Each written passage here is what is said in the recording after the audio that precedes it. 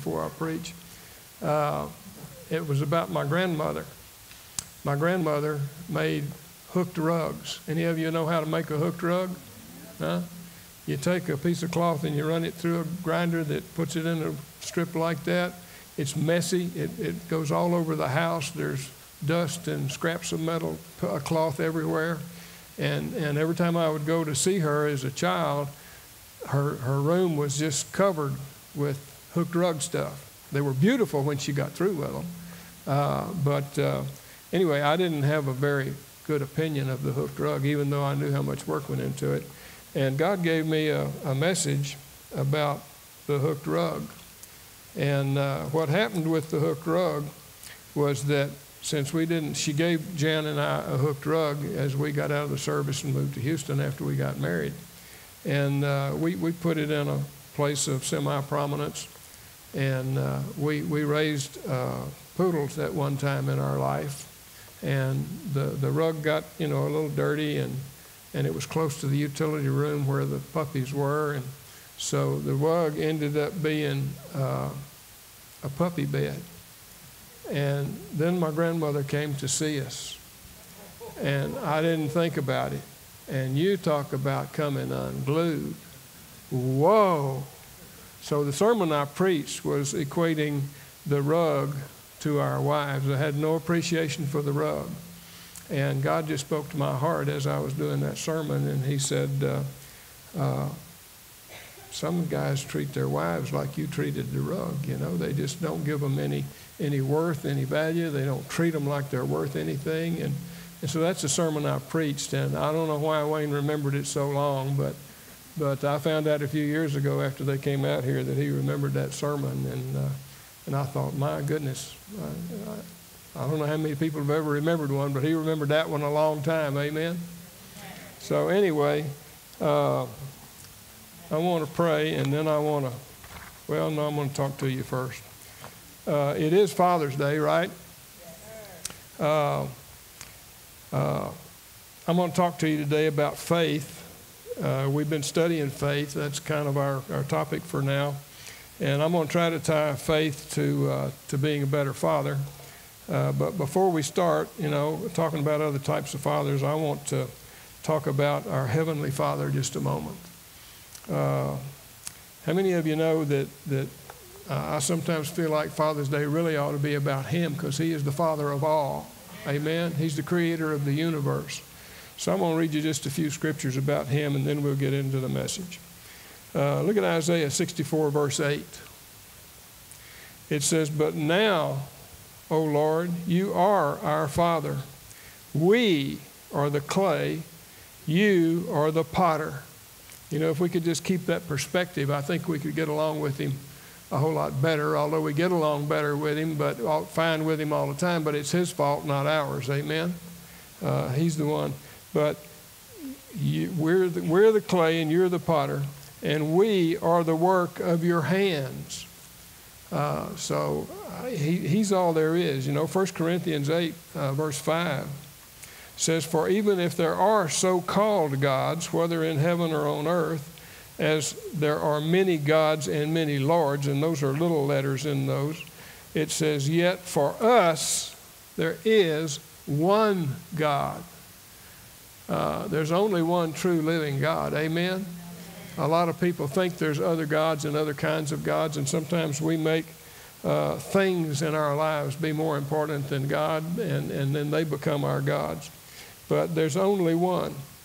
Uh, uh the Father, of whom are all things, and we for him, and one, Je- one Lord Jesus Christ, through whom are all things, and through whom we live. One, one scripture says, In him we live and move and have our being, live and move and breathe and have our being. I mean, he's all encompassing. The world and everything in the universe is about him, and we don't always we don't always realize it and keep it in our brains, okay? Ephesians uh, 4, verse 4, says there's, there's one body, one spirit, just as you were called in one hope of your calling, one Lord, one faith, one baptism, one God and Father of all, who is above all and through all and in you all.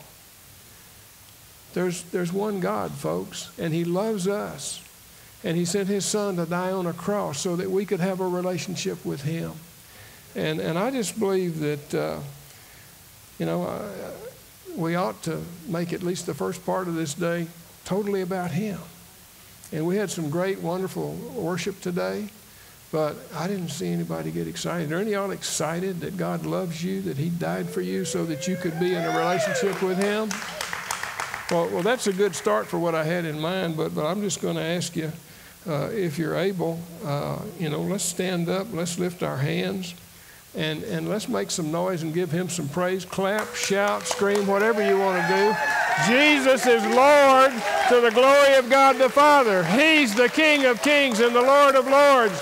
It's He that we worship. It's He that we should be honoring on Father's Day. Amen? Hallelujah. Thank you, Jesus. Glory. Is that all the noise y'all can make? One more big shout. Amen. Amen. Don't you feel better now? Hallelujah. Thank you. Father, I just thank you that you loved us enough to, to send your son to die for us, Father. Lord, I thank you that you made a way for us to be uh, the righteousness of God in Christ Jesus so that you could live in us, so that we could be in the Holy of Holies. Someone shared earlier about the, the, uh, the curtain that separated the Holy of Holies, and when it was rent, uh, it allowed you to come live in us, and it allowed us to to sit in your lap anytime, Father. You made us righteous regardless of how we act. And I love you so much, and I appreciate what you've done so much. Help us all to get a hold of how wonderful you are, Father, and how much you love us, and your loving kindness, and your grace, and your mercy, Father. And Lord, just uh, anoint this message today and help me to bring it so that it helps us to, to change lives, Father. In Jesus' name, amen. Um, are y'all ready to? Uh, talk about faith and fatherhood? Okay. Um, so you, you, might want to know what does faith have to do with fatherhood? Uh, I kind of asked myself that question when I came up with that title. Uh, the rest of the title is uh, is uh, Are you modeling what you say you are? Are you being an example? And that's where the faith comes in. Uh, faith has everything to do with everything. We know that, don't we? Tell me something that faith doesn't have anything to do with, and I'll show you something we shouldn't be involved in. Hello? Uh, that, that's, that's why we're studying it, and I'm attempting to connect faith and fatherhood. So, uh, when do you quit being a father, and when do you stop trying to be a better father? How many of you were a father and aren't a father anymore? You know, even if our kids go before us and go to heaven, we're still a father. Amen? Uh, and we still have good memories.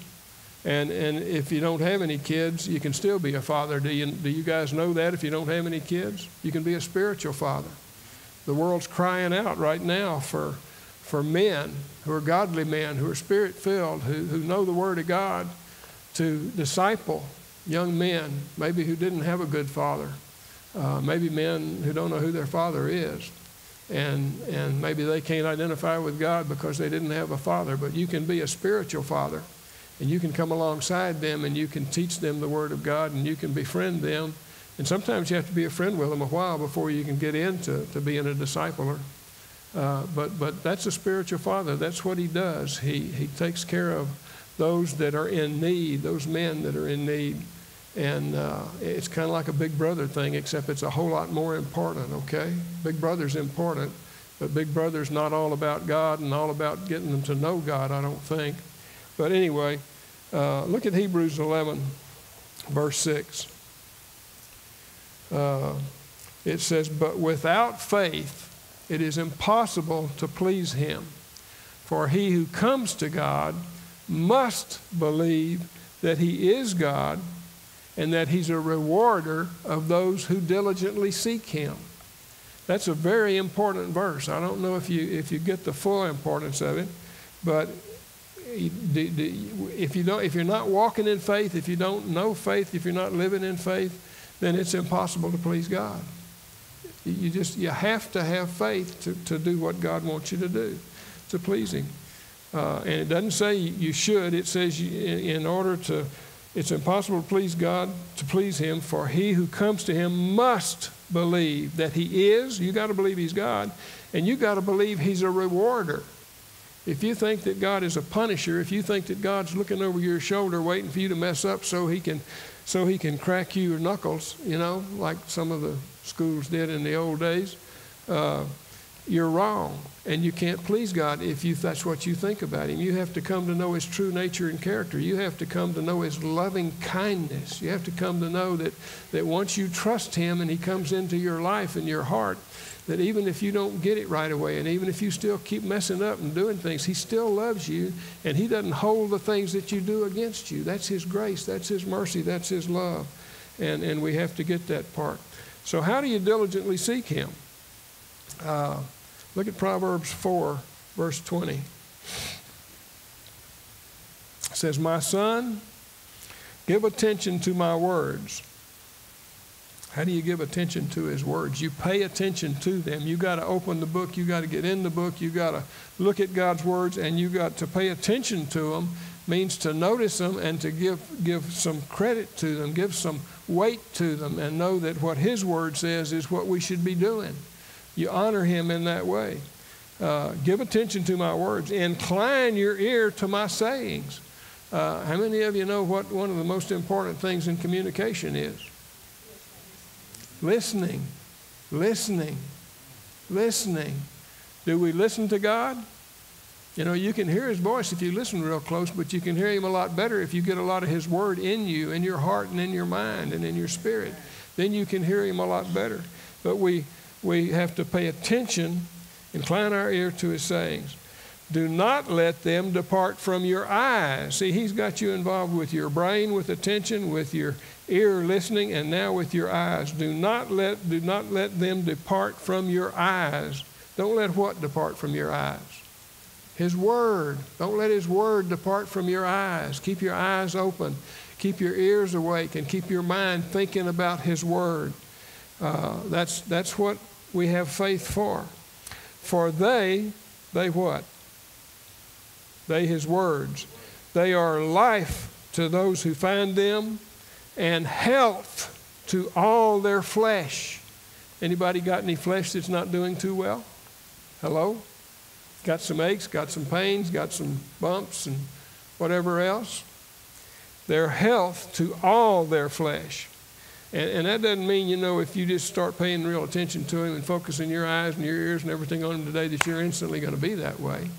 But if you stay focused, if you stay listening, if you stay uh, keeping him in your midst of your heart, eventually you'll start getting better. Amen? And if we just started out that way and stayed that way, I think we'd stay healthy all of our lives. You think so, Brother Dennis? But how many of us do it? And why don't we do it? We don't do it because we're not taught early enough. We're not, we don't do it because we're not mature enough. We, it's a growing process, and we have to reap some of the things that we sow. Keep your heart with all diligence. Diligence sure shows up a lot when they talk about God, doesn't it? Did you notice that? He's diligent towards us. We need to be diligent towards Him. For out of the heart springs the issues of life. Know, God wants your whole heart. When He has your whole heart, you're going to have a whole lot more good issues flowing out of you. Uh, it says, but, uh, but put away from you a deceitful mouth and put perverse lips far from you. The only way you can do that is if you focus totally on God. Let your eyes look straight ahead and your eyelids look right before you. Uh, you know, they put blinders on a horse if he's kind of spooky and if he's pulling a wagon and he doesn't need to see what's behind him because it's going to either frighten him or distract him or cause him a problem. That's what we got to do. We got to put our blinders on and don't look at anything but Jesus, but Jesus' Word and God's Word. And we got to hide it in our heart and we got to keep going forward. And, and in case you don't know how this ties to fatherhood, all of this makes you a better father and it makes you a better husband. It makes you a better person. Uh, that's, that's what this is all about. Uh, ponder the path of your feet. Don't, don't just jump up and do something. Think about what you're going to do. Think about is this what God's Word says? Is this consistent with God's Word? Is it going to bring glory and honor to God? Or is it going to make you look like a non believer to, to somebody who, who is a non believer but who knows a little bit about how Christians are supposed to act? These are important questions. Ponder the path of your feet and let all your ways be established. How do you get your ways established? We just read it. All of the above is how you get your ways established. And once you get them established and you got your, your heart and your mind and your eyes and your ears full of His Word, then that brings you to a place of being established. And I don't know if you can equate that or not, but how many of you would, would rather have a, an established yard rather than a yard with a lot of weeds in it and grass burrs and, and those big old prickly things that come up in the springtime? Yeah, an established yard looks, you know what an established yard, yard looks like, don't you?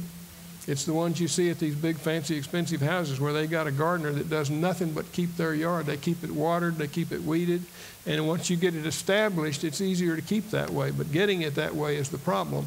And the same thing applies to us. Getting established in God's Word is, is a lot up to us. And it's how diligent we are with seeking Him, how diligent we are with learning His Word, how diligent we are with, with a lot of things in our life. Amen? Uh, Hebrews 13, 5 and 6. Let your conduct, what, what is your conduct? Your conduct is, is your, your, your actions. It's what you do. It's, it's uh, uh, you know what conduct begins with? It begins with your attitude. Uh, let your conduct be without covetousness. If your attitude's wrong, your actions are going to be wrong. And you know, when you're raising your children, dads, uh, you can see when that, when that attitude changes, can't you?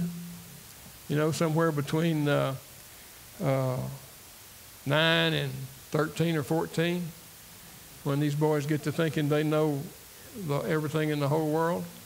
Doesn't their attitude change? And right after that, their actions start changing. Amen? And if we haven't raised them right up to that point, uh, then we're in for some problems. And unfortunately, uh, I didn't raise mine right up through that point, and, and we had some issues. But praise the Lord, God changed Daddy a little bit, and Daddy became a little bit better father because, see, God brings beauty out of ashes. And it doesn't matter where we've been, how bad we've been, how bad the kids have been. God is a restorer. He's a restorer. So it's never too late. It's never too late to get started.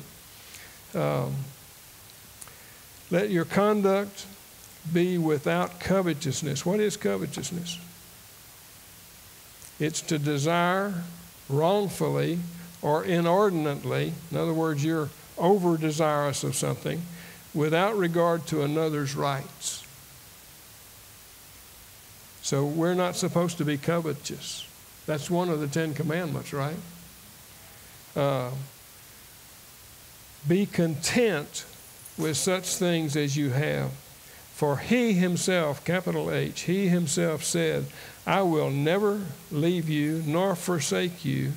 So we may boldly say, the Lord is my helper. I will not fear what man can do to me.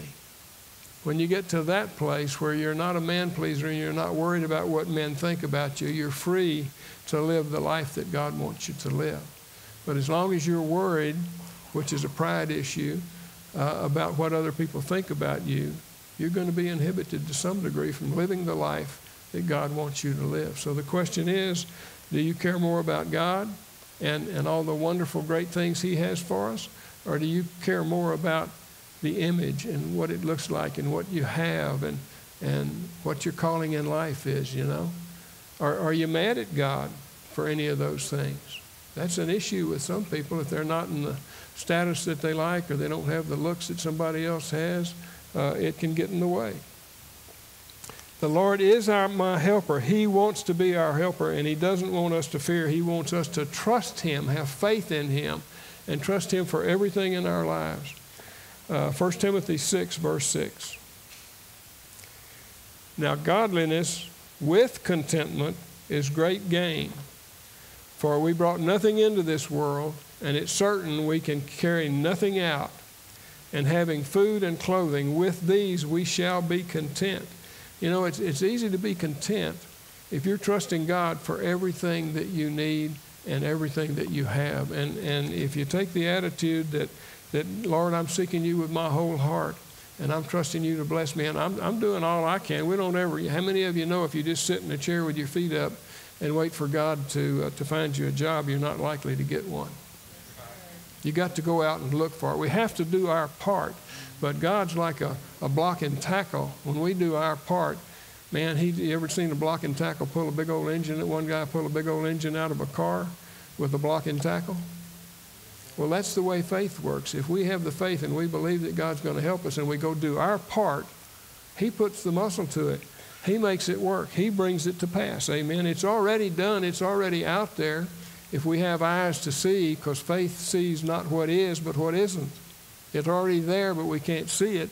And it manifests when we have the faith and believe that it's there and when we do our part. Um,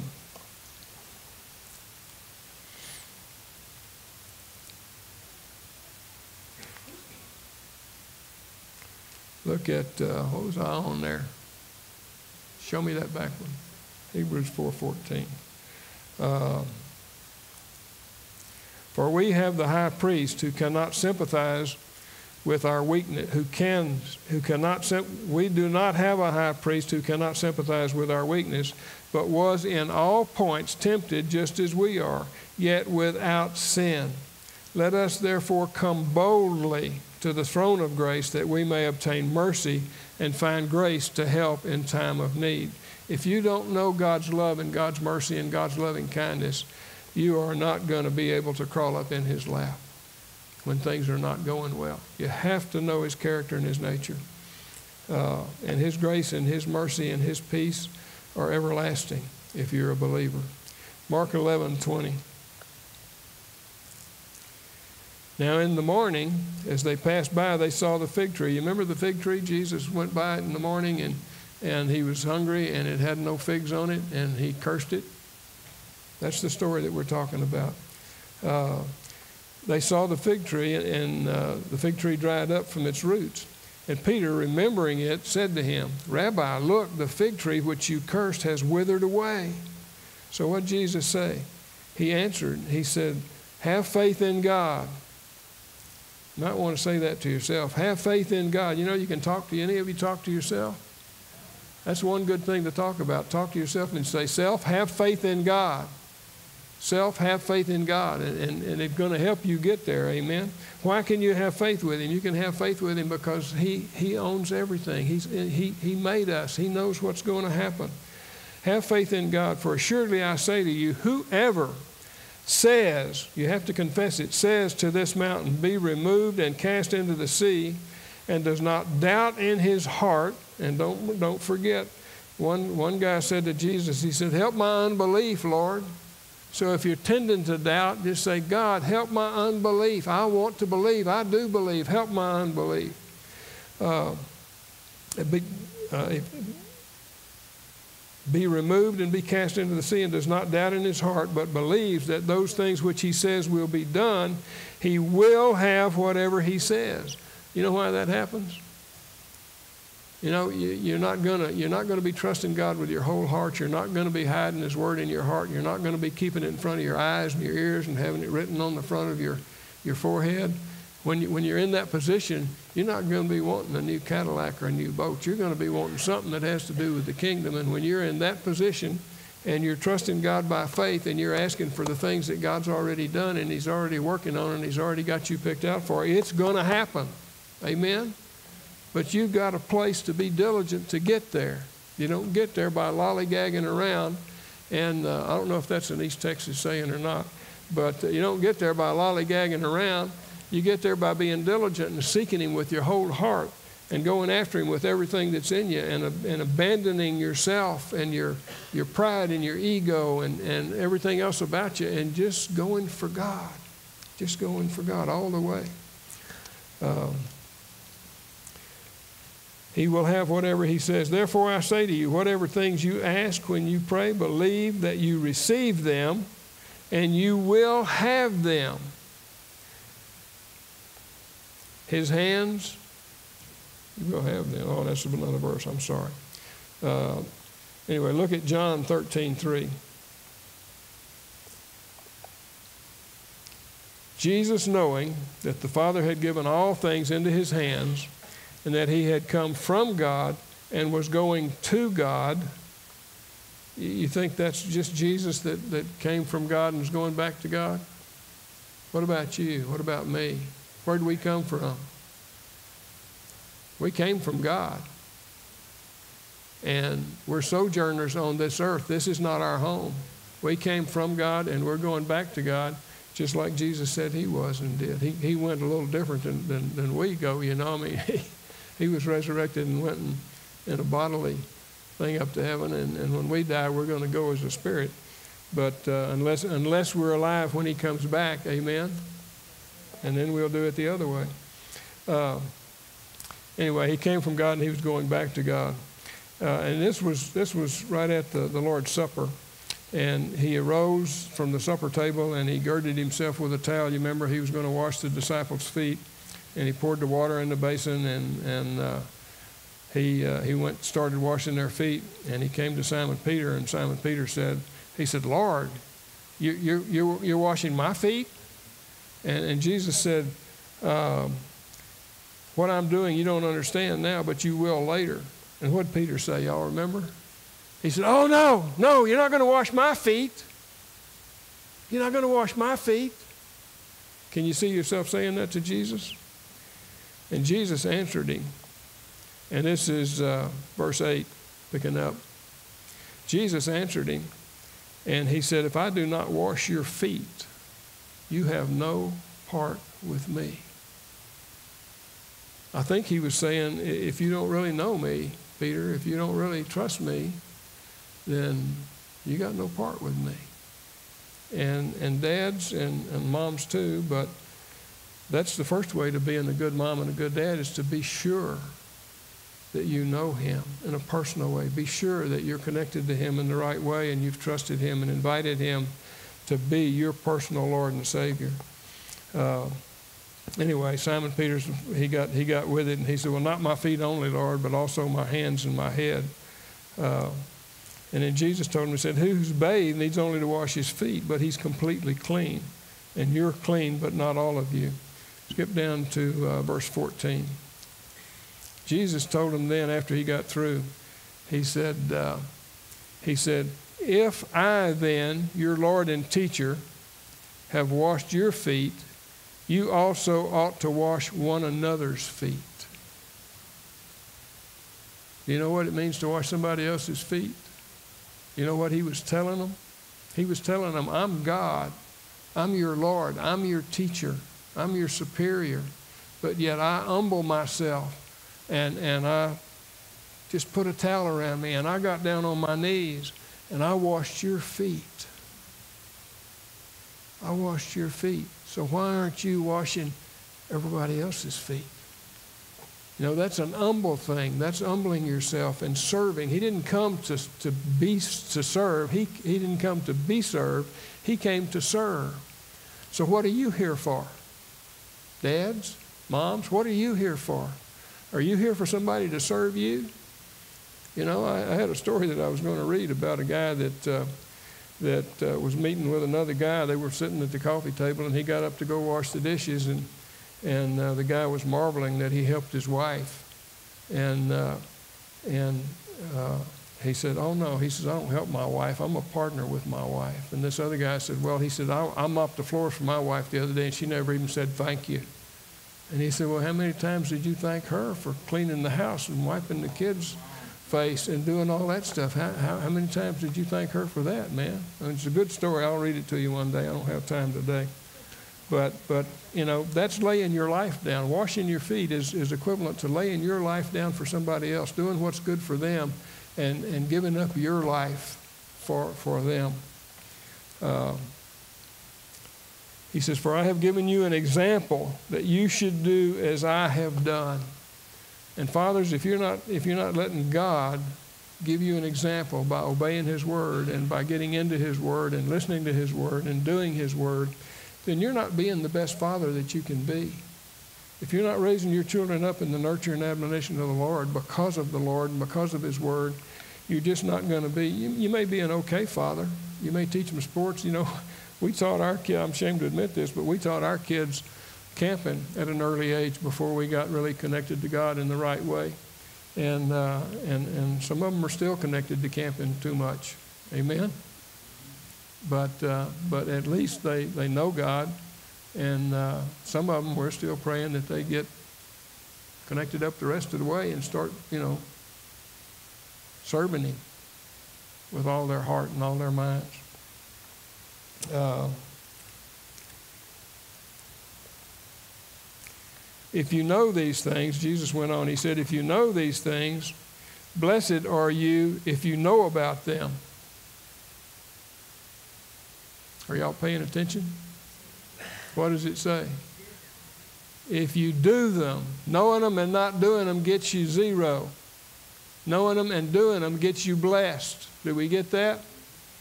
Amen. Look at Philippians 3:17. It says, "Brethren, join, this is Paul talking. He says, "Brethren, join in following my example and note those who so walk, as you have us for a pattern.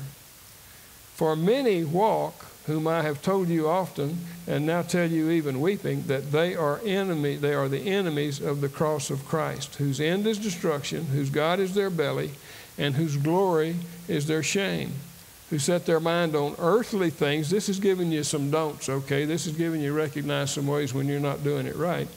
Uh, whose, whose glory is their shame, who set their mind on earthly things. You know, the scripture that says, uh, He who is friends with the world is an enemy of God.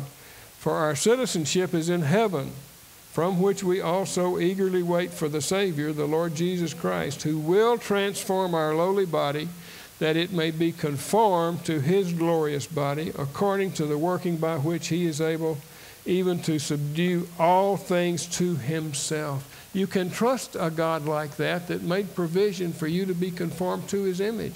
In Romans, it says, You will be conformed to the image of my Son. God has our best interest always in mind. That's why we can trust Him, and that's why we should trust Him. Uh, look at uh, 1 Timothy 4:12. Let no one despise your youth, but be an example to the believers in the world in conduct, in love, in spirit, in faith, and in purity. In purity. And Paul says, Till I come, give attention to the exhortation, to doctrine. Do not neglect the gifts that are in you, which is given to you by prophecy with the laying on of hands. Meditate on these things. And, and this should be for your refrigerator, this next phrase here. Give yourself entirely to them. See, that's when you surrender fully to God. When you say, God, I want to be all you want me to be. I, I want you to guide my life and direct my life, and I give you full permission to, to, to bring me to the place that you designed me for. Bring me into the purpose and destiny that you have for me, and I want to submit to it, but you're going to have to guide me and show me where it is. Amen? Uh, that's, that's, that's where you want to go, is you want to go where you can give yourself entirely to them, and, and that's the same as giving yourself entirely to Him. That your progress may be evident to all. Fathers, when your progress, that you're a full-blooded Christian, spirit filled, walking with God all the day, all the day, trusting God and putting His Word in your heart and in your mind and in your ears and, and keeping it always before you, that's when your progress will be evident to all. And I'll guarantee you this if, if you're saying you're a Christian and you're not living it, your kids know it. Your kids know it. When my kids were little uh, and, and we were going to church all of the time, uh, we were Christians we were Christians, but without us knowing it, we were just kind of being religious. And, and I think that's one of the reasons that some of my kids had a hard time because they saw that we weren't real.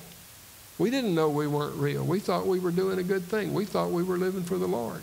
And, and we were doing a lot of things, but the, the purpose wasn't right, the motive wasn't right, and, and some of it may have been, I, I don't know what all the, the, the undercurrents were, but, but I know looking back, we didn't have near the relationship with God that we have now. We might have been trying to get it even, but we didn't have it yet.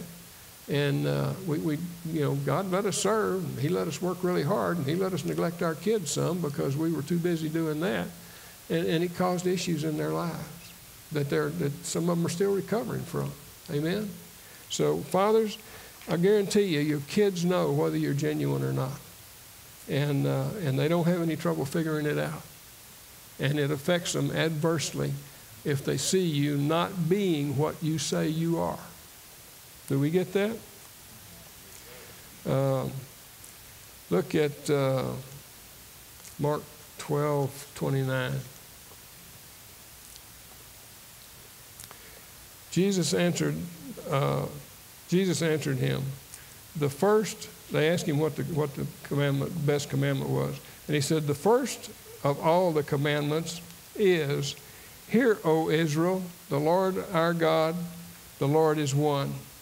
And you shall love the Lord your God with all your heart, all your soul, with all your mind, and with all your strength.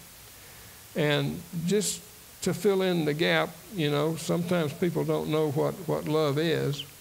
Uh, most of the folks around here do because I harp on it a lot.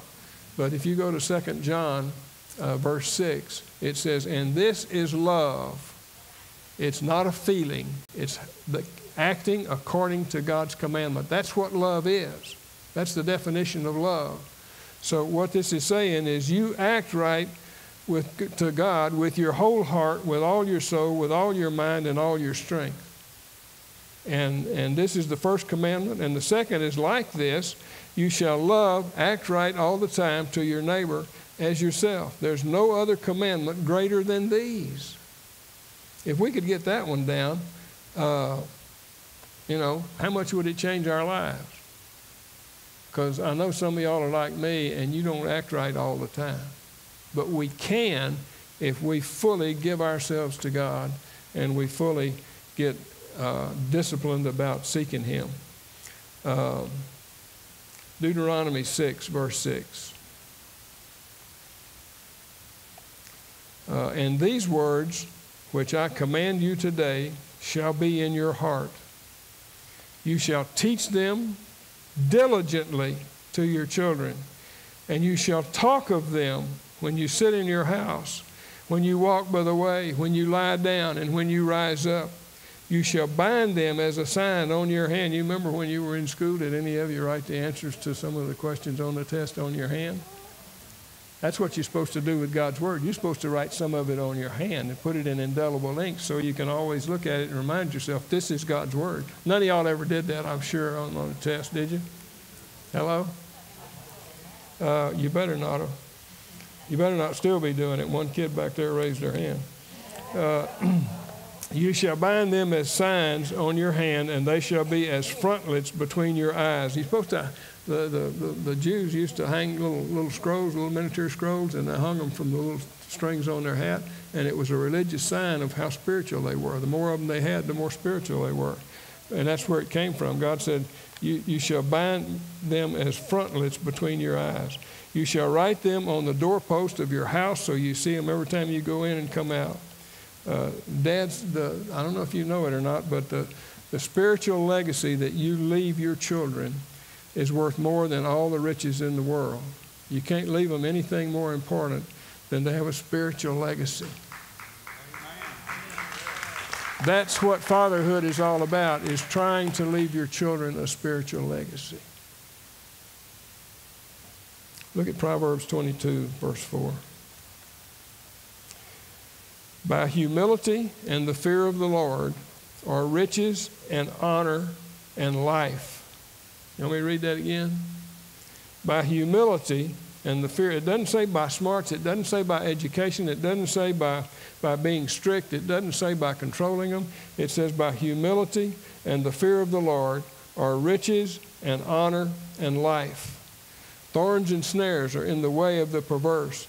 He who guards his soul will be far from, be far from them, far from the bad things.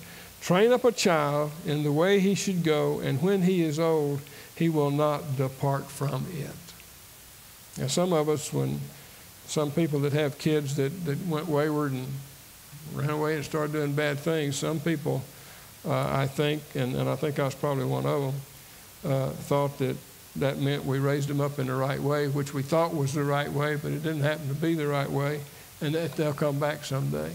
And, and I think it does mean that. But I think if you train them up in the way they should go and you pay enough attention to them and you do the right things with them, I don't think they ever go away. I think it means they just walk, walk in it all the days of their lives. Look at Jeremiah 29. I'm going to be through in a minute. I heard somebody say, huh. uh, 24 9, 20, 22 4. By humility and the fear of the Lord. I just read that one, didn't I? Look at Jeremiah 29 11. For I know the thoughts that I think toward you, says the Lord, thoughts of peace, not of evil, to give you a future, to give you a hope. Then you will call upon me and pray to me, and I will listen to you. He gives us that, and when we do it, He listens to us and, and He's there for us. And you will seek me and find me when you search for me with your whole heart. You know, you can search for Him in and around all the stuff that you're doing, and that's not your whole heart. When you make up your mind, you're going to get to know God and you get serious and you get in His Word and you get a hunger for His Word and you get a hunger to know Him personally and individually. And that's why you're reading your Bible, not just to fulfill a a daily Bible reading thing, that's when it gets a hold of you. Uh,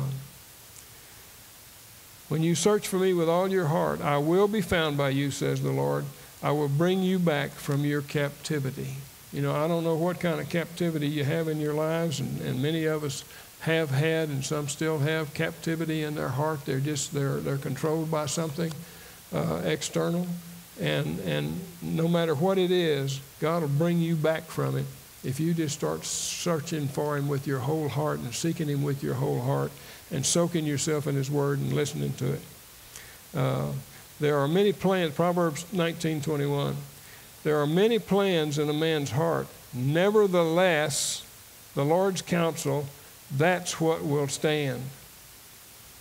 You know, you can plan anything you want to, but if you're planning aside from God's ways and God's word and God's purpose for you, chances are it isn't going to work.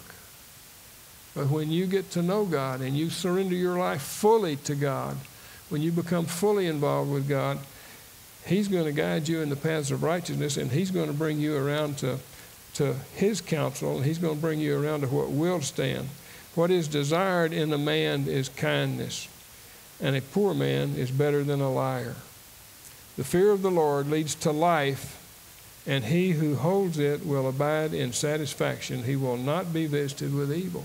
There is no downside to selling your whole body, soul, and mind out to God and seeking Him with your whole heart. There's just no downside to it. You're going to give up some things, but you're going to get things that are, that are so much greater and so much more filled with joy and peace and everything else that you, you just, you're never going to look back and regret it. Uh, the fear of the Lord leads to life, and he who has it will abide in satisfaction. He will, be, he will not be visited with evil. Galatians 6, I'm getting through. Galatians 6, verse 7 says, Do not be deceived. Don't forget that you have an enemy that's prowling around like a roaring lion, seeking whom he may devour. And if you're just lollygagging around, he may devour you for a season. Amen. Even if you've trusted him as your Lord and Savior, but you kind of get off the path and, and you're lollygagging around and you let him get you out of the Word, uh, it's not a good thing. God is, be not deceived. God is not mocked. For whatever a man sows, that he will also reap. For he who sows to his flesh will of the flesh reap corruption. Corruption is not a good thing. You understand that, right? Uh, but he who sows to the Spirit, you understand that's what we've been talking about. Most of this is sowing to the Spirit, trusting in God, giving yourself to Him fully. But he who sows to the Spirit will of the Spirit reap everlasting life. But, but it's not just that you reap everlasting life, you get a lot of good stuff along the way. Amen? And let us not grow weary while doing good, for in due season we shall reap if we do not lose heart. Therefore, as we have opportunity, let us do good to all, especially to those of the household. You know, the bottom line, uh, you're either you're either influencing others with your life, and if you're not doing that, you're being influenced by others. The best scenario is to be influenced totally by God. Block out the world, block out the things of the world to the best of your ability, and surrender your lives to God. You're either influencing others or you're being influenced by others. And, and the way to, to not be influenced by others is to give yourself to Him, to surrender your life totally to Him. Start seeking Him with your whole heart. Start getting in His Word. Start learning His Word. Start putting His Word into practice. And just keep on keeping on. Amen? That's the only way you're going to get there. Whether you're dads, whether you're moms, whether you're kids, no matter what you are, that's, that's how you get there. So I just want to give you an opportunity before we close. We got a couple other things we're going to do, but uh, but you know there may be people here that are that are not saved that haven't fully trusted Jesus as their their Lord and Savior, and you may be saved and and you're just not really letting Him have His way in your life, and you may want to just make some decisions today. So I just want to I just want to open up a time for you. Just bow your heads a, a moment and just ask God what He's saying to you today. Just ask Him what, what He's putting in your heart. You probably already know, but take time to listen for a minute.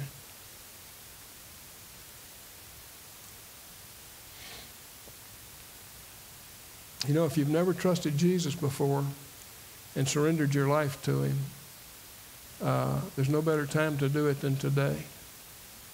So if there's anybody here who, who can't say with certainty that if you died tonight that you'd go to heaven and you know you would, then I'd like you just to raise your hand and let me lead you in a prayer. You don't have to pray it out loud. I'm not going to make you come down front or anything. I'm just going to lead you in a prayer that you can pray in your heart and trust Jesus as your Lord and Savior. And my Bible says if you do that, you only have to do it once, and from then on, He is your Lord and Savior and He'll always be with you and He'll never leave you and forsake you. Anyone that wants to pray that prayer today, anywhere. Well, there seems to be no one, but there may be someone who, uh, who is not seeking God the way we've talked about, and, and maybe you want to, you know, the Scripture says repent, and, uh, and repenting is, is being aware that you're going in the wrong direction and doing an about face and going in the other direction. Maybe you were saved a long time ago. Maybe you just haven't followed Him and trusted Him. And if that's you, I'd like to lead you in a, Uh, a repentance prayer, just saying, God, I, have been going the wrong way and I want to come back and do it your way. And, and I want to learn to do these things that this cowboy preacher's been talking about. If that's you, raise your hand and I'd love to lead you in a prayer. Anybody, anywhere. Amen. Well, does anybody just want to be a better father today? How about that? Anybody? There's one, there's two, there's a whole bunch of guys that want to be a better father. Well, keep your hands up and let's pray. Y'all can pray this with me if you want to. So just say, Father, the desire of my heart is to be the best father that I can be. And I just ask you, Father, to touch my heart to stir up in me the desire to be diligent in, in seeking you and to, to get you to help me be the best father I can be. And I'm asking you with my whole heart, Lord.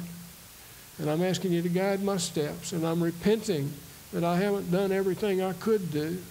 And help me to do all that I need to do, Father. Help me to, to even if my kids are grown, help me to love them more. Help me to, to be there more for them. Help me to to, to want to be better all of the time, Father, in the name of Jesus. Amen. Amen. How many of you still glad you came to church? Amen.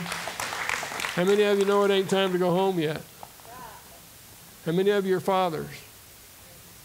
Some of you are going to be better fathers now, I hope. But if you're a father, we would like for you to come down. We have a little gift for you just to say Happy Father's Day, and we want to pray over you.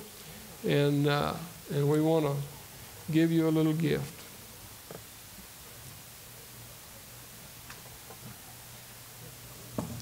Come on, dads.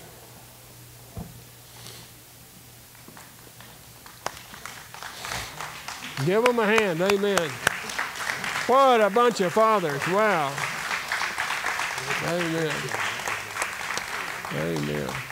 Why don't y'all just gather around and touch each other and, and uh, so we're all connected. Amen. Amen.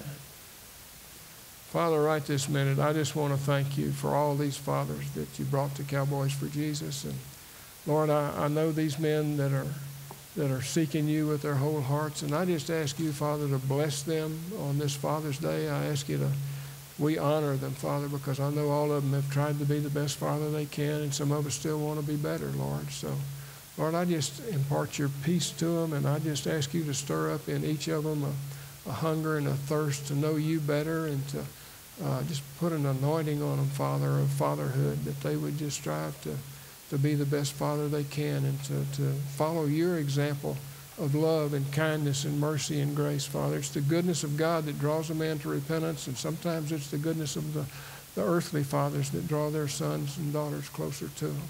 So, Lord, just help us all to be what you want us to be, and let us, let us just want to get to know you better, Father. Stir up in each of us a hunger and a thirst for your word and a hunger and a thirst for your righteousness, Father and just bless every one of these men and bless their sons and daughters and and uh, and get a hold of their sons and daughters, Father, and just turn their hearts back to the to the mothers and fathers, Lord. Just just bring families together the way they ought to be together, Father, and help us all to to have unity in our in our hearts first with you and then with our our wives, then with our children, and, and then with our church, Father. Lord, bring unity to this little body here, Father, in the name of Jesus. Amen. Bandanas. Yeah, we have a gift for you. We have two buckets. You get to you get to choose a color. So pick your color and have a bandana. Amen. Anybody got anything else they want to say? How do you know when you've been to a cowboy church? Y'all come back now. You hear? Amen.